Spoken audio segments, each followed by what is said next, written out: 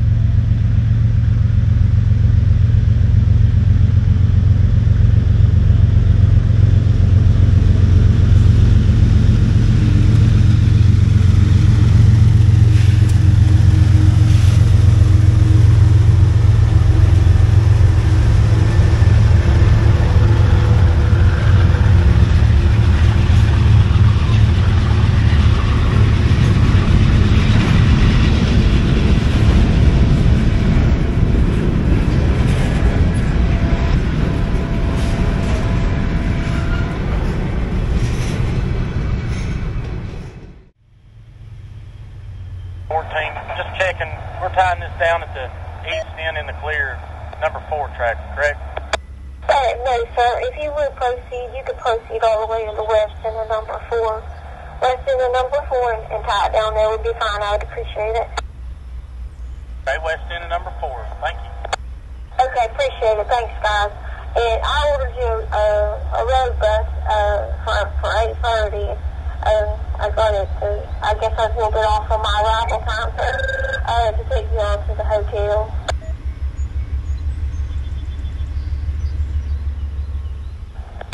All right, thanks, guys. Be safe. I appreciate it.